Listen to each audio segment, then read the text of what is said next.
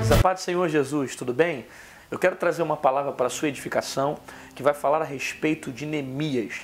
Neemias é um homem extremamente importante para a história de Israel. É ele que vai levantar os muros de Jerusalém quando Israel estava vivendo, vivendo um período de declínio, um período de destruição. Né? Israel, nesse tempo, está vivendo um período conhecido como pós-guerra. Os muros estavam quebrados, o templo estava destruído e Neemias ele vai sair com essa incumbência para levantar os muros de Jerusalém. E os muros eram muito importantes porque os muros, os muros simbolizavam para Israel paz. É, os muros traziam a proteção, cercavam a nação de Israel, como também muitos sobreviviam do comércio é, dos produtos que eram vendidos na frente das portas que ficavam nos muros de Jerusalém. É interessante porque Neemias não era profeta, Neemias não era sacerdote, Neemias não foi levantado na Bíblia, não foi é, falado na Bíblia como um sumo sacerdote, mas Neemias simplesmente era um servo. Neemias, quando saiu da cidade onde ele estava para ir para dentro de Israel, ele foi simplesmente com o desejo de ajudar a obra, de fazer pela obra.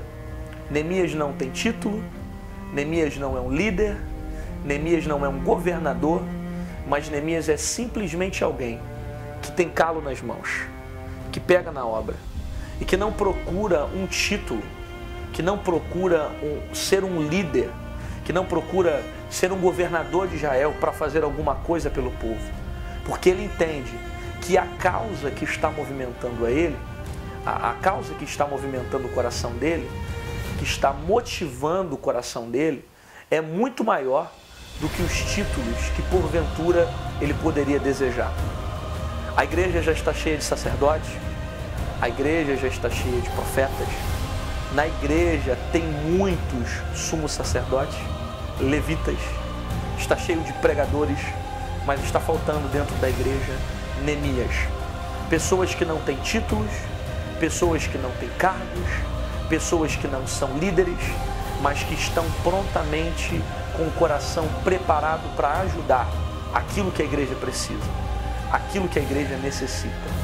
A igreja precisa de Neemias, pessoas que estão nos bastidores da obra, que você não vê, que não está de frente cantando, que não está de repente tanto de frente pregando, que não está simplesmente de frente é, dos muros, mas que está ao redor dos muros, trabalhando, ajudando para que aquele coletivo continue progredindo em relação à obra do Senhor.